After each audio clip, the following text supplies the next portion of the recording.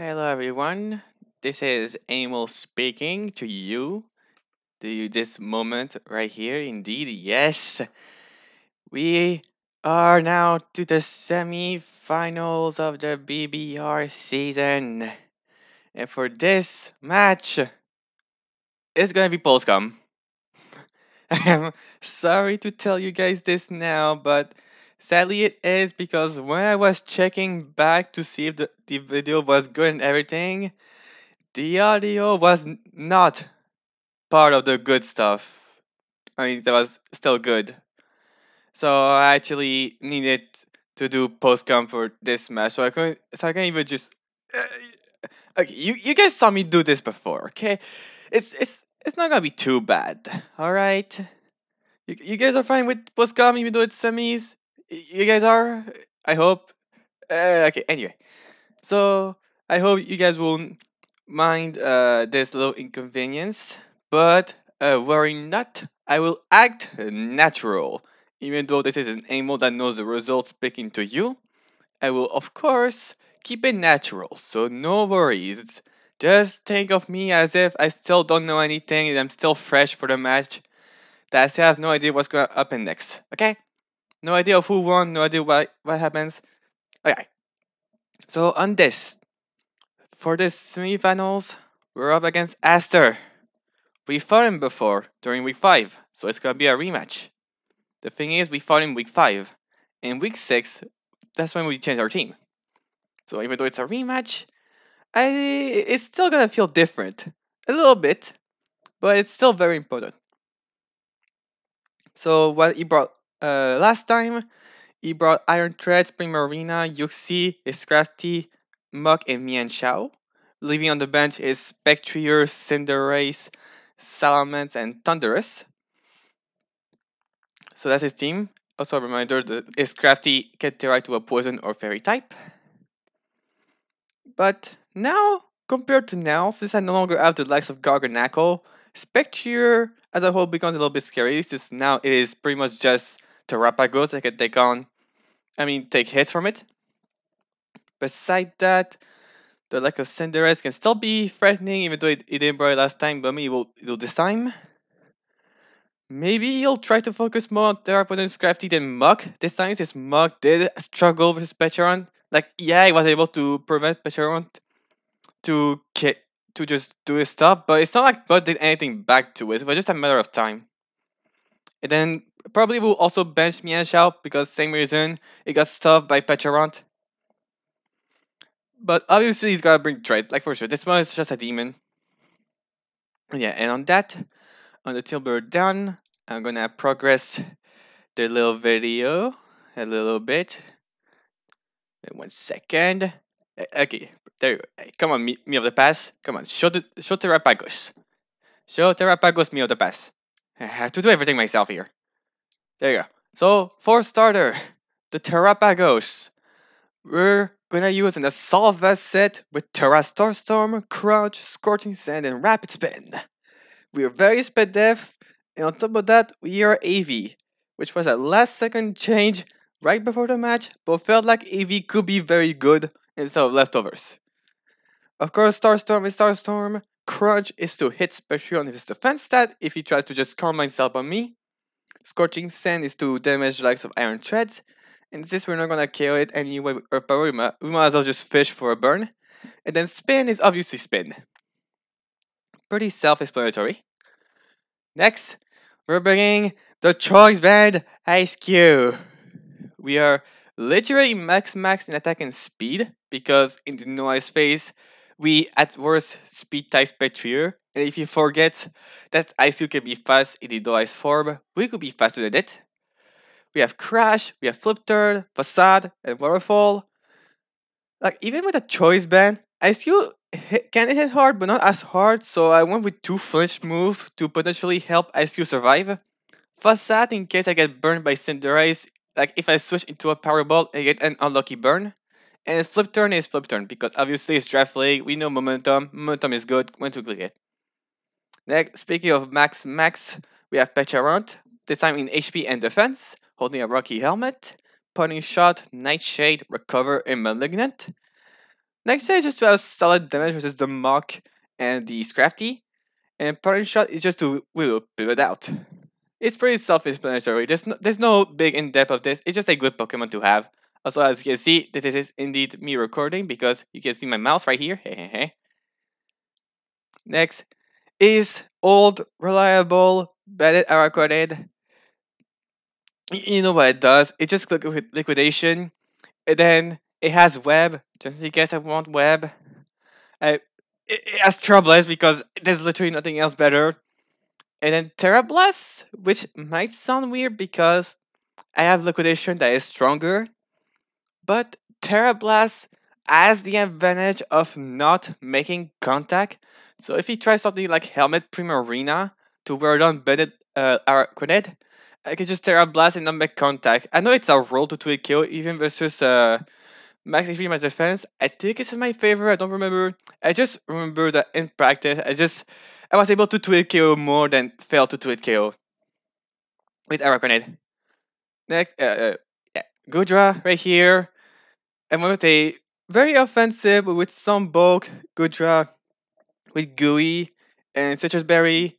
I have Pulse, I have Scald, I have Sludge Bomb, I have Knockoff. Pretty standard move set. Of course, Pulse is a stab, Scald to hit Strat, but actually burn if we don't kill. Sludge Bomb to hit Prim, Knockoff is Knockoff.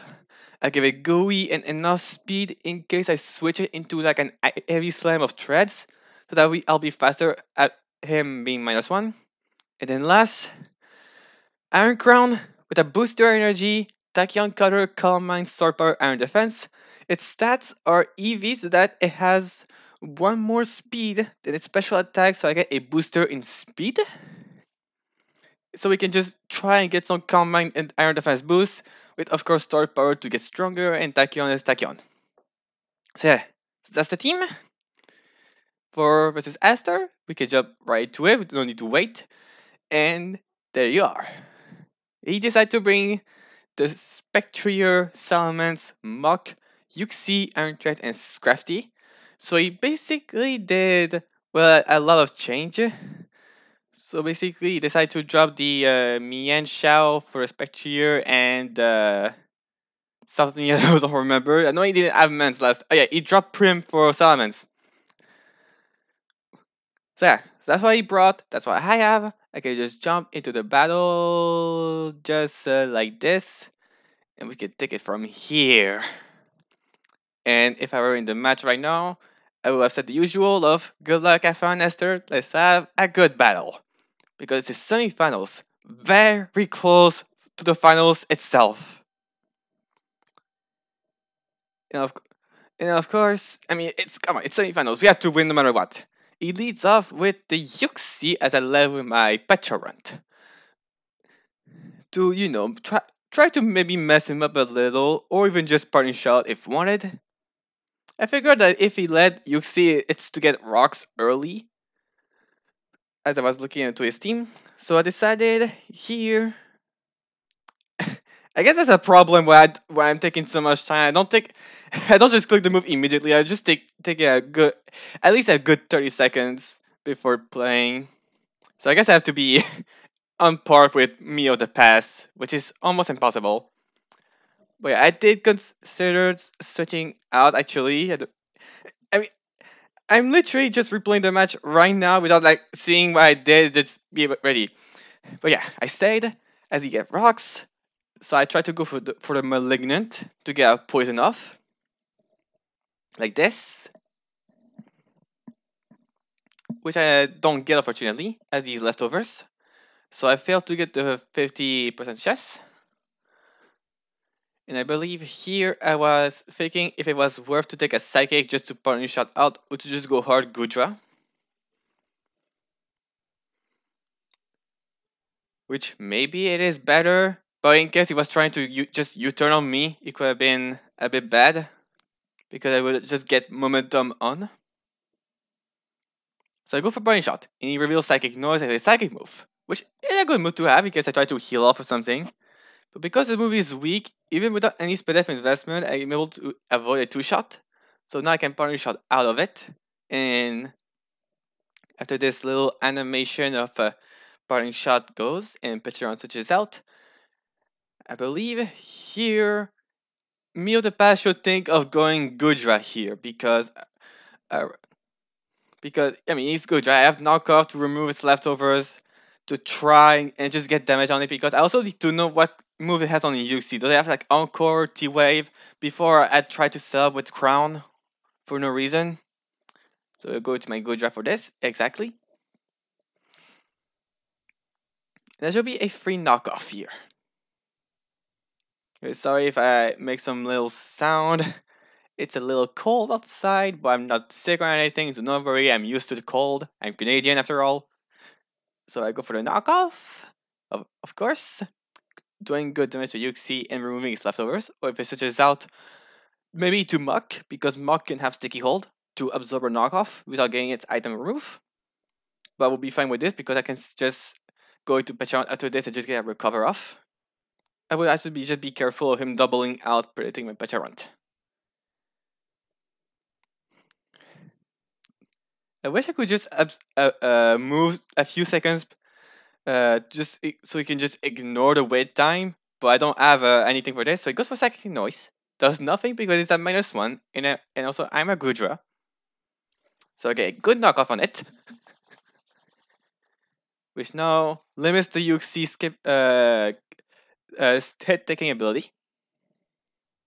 So here, I should go for, of course, the stronger move I have, being Dragon Pulse. But I think actually, I think I tried to go for Scald and try in case he tries to switch out, I can maybe snag a burn. If he stays, then it's still fine. Yeah, indeed, I went for Scald. But he revealed Encore, so I did good to not go into my Iron Crown because I would have been Encore lock otherwise. And I need my booster energy to stay for until it dies.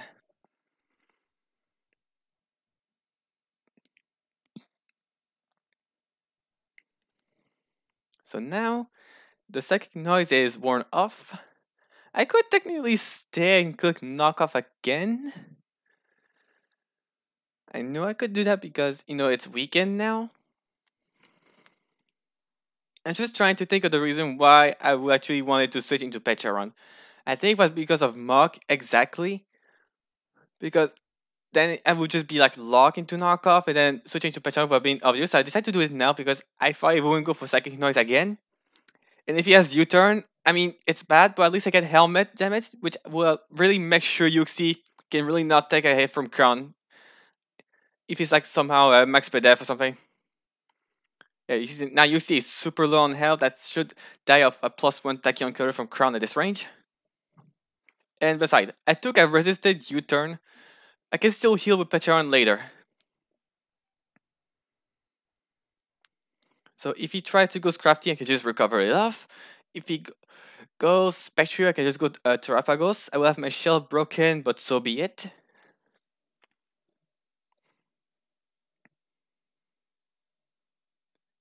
We are waiting. Actually, is that, is that something I can do to just uh, accelerate? Just the playtime uh, doesn't seem so, no. So I guess we're gonna just gonna stick into it for a little while.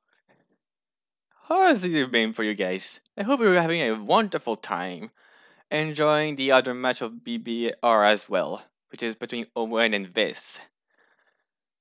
Two very good battler. Of course, they can only they can only be one of them. They can win, just like they can be, only be one or as they win. Goes to Undead, which is a spec Spectrier. So here, nothing to think about. Like even though my switch is super obvious uh, for him to potentially double out, I still have to go Terapagos. I, I have to. I mean, I have Terapagos for Spectrier after all. So pretty easy switch. Do it to the normal type. Switching on my ghost for my go another ghost. And he is taking. So I was a little, I was fearing a little bit that he tried to double something, but I switched first, so I knew he stayed. So no need to worry about him doubling out to try and exploit Rock's damage on my Terapagos.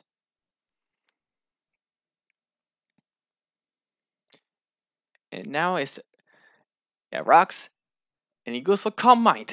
So now it's getting a little risky. Good thing I have Crunch to hit it on his defense stat. but I have to be worried about Wisp, which I thought was the least common uh, idea for him to bring, but was still afraid of that. Something I fear as well was weakness policy, because you know, Calm Mind into Dark Pulse, it just gets stronger and stronger.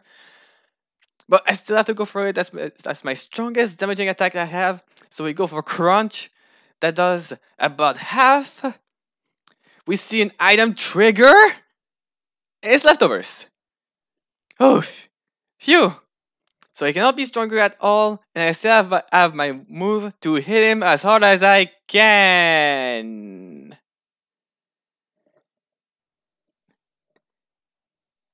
And now, because it is disabled, my one move that, I, that is able to do somewhat damage to Spectre is, well, unusable.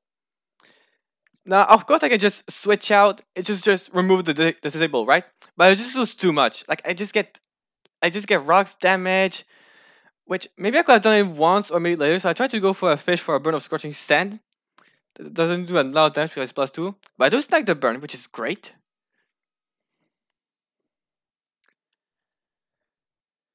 Like, I was just afraid to just switch Terapagos in and out and just have a, a Pokemon just get uh, Giant Kiss too hard on damage. Maybe Pecharunt could have been good because resist, it forces another kiss, and he, and he takes helmet damage because kiss makes contact with helmet. Maybe I could have done that. But in my head, I was like, I think I have, I have enough staying power to just stall out the disable. Because I'm AV, Drain Kiss is still weak in base power. It will recover some some HP because it's, it's getting boosted. But at least thanks to the burn, he doesn't get leftovers. And he's only do a lot of damage. Thanks to me being def and AV. So I just stay here and get some Scorching Sand damage. That doesn't do a lot, but it's some damage nonetheless. It's just until I get another crunch. I mean my crunch backup.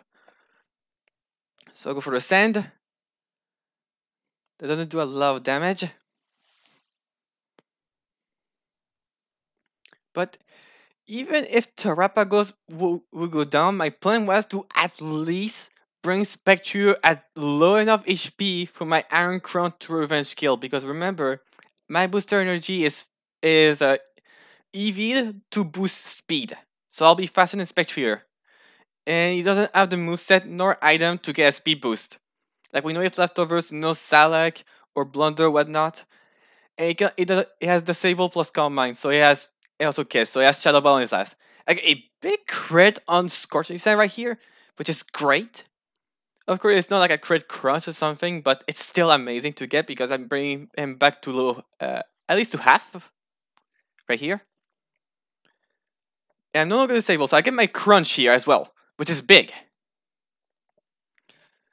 So like he has to attack me now to get some HP from Drain Kiss. Yeah, to think that he's doing about 80, but this amount of health is still big for him to regain. That's just insane. So I get my crunch. That brings him to very low health. Defense shot doesn't really matter because at this range. And now it was only to think. Yeah, disable is obvious for me to disable the crunch. But I also considered to go for scorching sand here because if he goes for sand, he just uh, it just Okay, I have some some hard time to explain, but my idea is that I just buy a turn from disable by going for sand. But in my head, I was like, he's probably just gonna go for damage at this point because he just easily predict the disable. So I, I, I try to be uh, fancy with crunch here, I believe. I mean, the point is, yes, disable the crunch is super obvious, so I could just went for sand, but I didn't want to be obvious and just him clicking uh, Drain Kiss. Unfortunately, I, get, I don't get it right. I don't get it right at all. Which, I mean, it does look a little scary as well because now he's able to get another Drain Kiss because of this. But I have to make sure it, stays as low HP as possible. Because again, I need to revenge kill it with Iron Crown.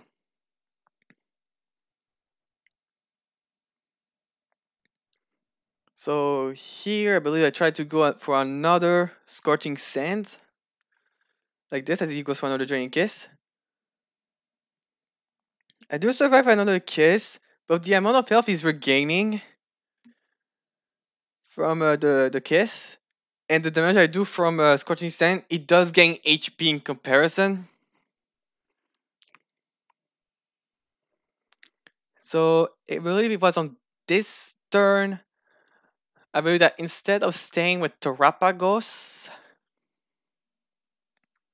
I went Pecharunt because again he's forced to join in Kiss, so I get some ch- some uh, helmet chip, and he shouldn't regain everything. Like he's boosted and there's rocks, but I believe it even at this range it wouldn't kill Pecharunt because it resisted. And I was thinking that the the helmet will put it in range for crown because yes, it will regain some HP because of how Kiss work. But there's helmet, so there's there's a sixty percent that's gonna be removed.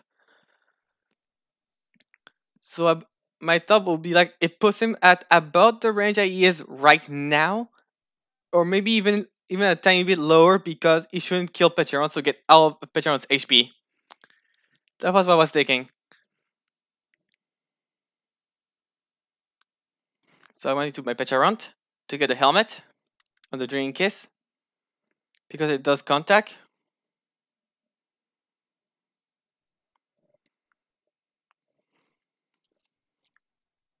Like this. Yeah, see, it doesn't kill, so it did. So it's gonna regain about like 60 HP. To think he's getting damage percentage, even though it's supposed, to be at 60 HP, is wild. So that so that put him at about. That did put him at about uh well it was just previously. So that forced a shadow ball because he cannot kiss again because he will regain no HP and just take helmet chip. I believe a play I could have made was double bank to uh, Terapagos to absorb Ball and then force a my game of him going for either Kiss or Ball. Actually, I don't think it's possible because uh, dies to rocks. So yeah, no reason to do to go for this at all. So now he might be plus three, but he is about ten. He's about what twelve percent of HP. It is time for Iron Crown to save the day from this horse, from this horse that is horsing around. But it's time for me to bring my own horse. Iron Crown hits the field. The booster energy activates, enabling Quark Drive to boost its speed, like planned. I was able to double, uh, check enough time to know that I was able to get a speed boost. I go for a Tachyon Cutter now to kill this horse of the undead. This undead horse. Horse, horse. I hate horsing around myself either. I will wipe up, wipe up my strong Tachyon. It high special attack. Maybe not invested, but it's still strong nonetheless.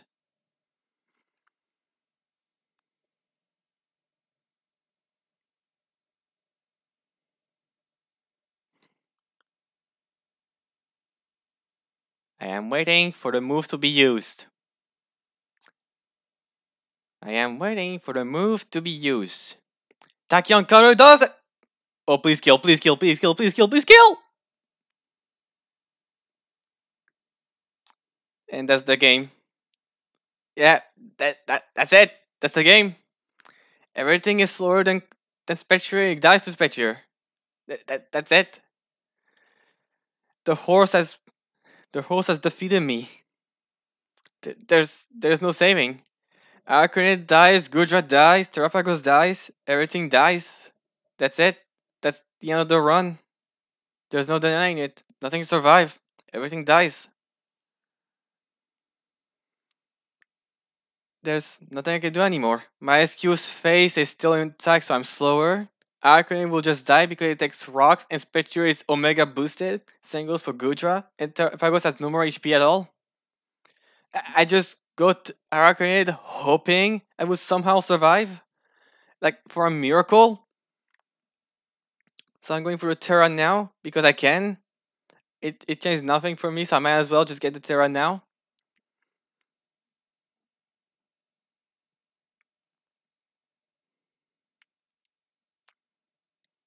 And then he goes for Shadow Ball. He's like plus four because he just killed because of Spectrum Nay.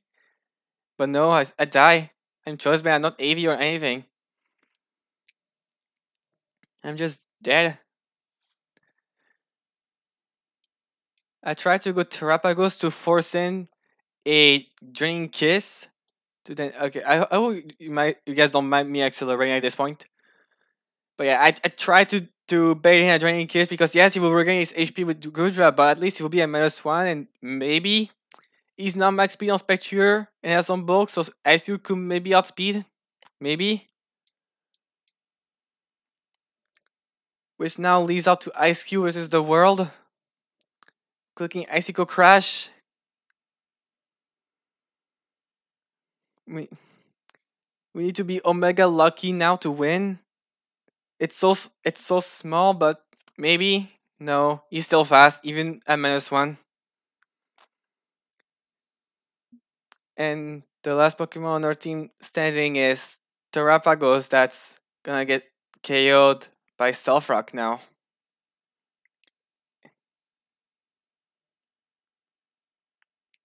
That's it. That the dream is the dream will be down after this. 47 HP, not enough to survive Stealth Rocks. I go into Terapagos. And that's it. The game is over.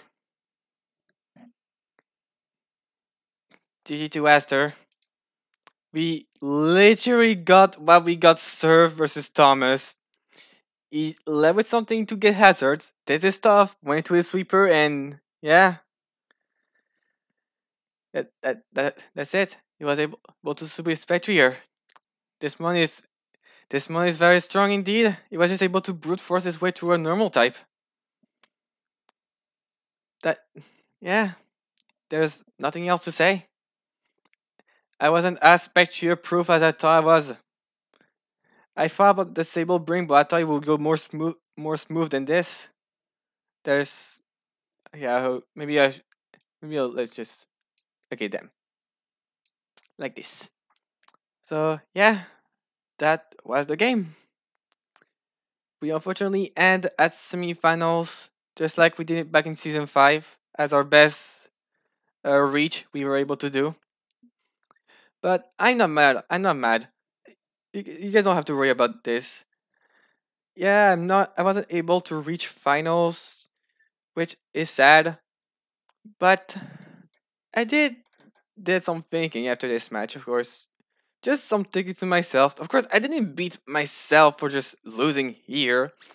It's just some stuff I needed to re- to realize to myself.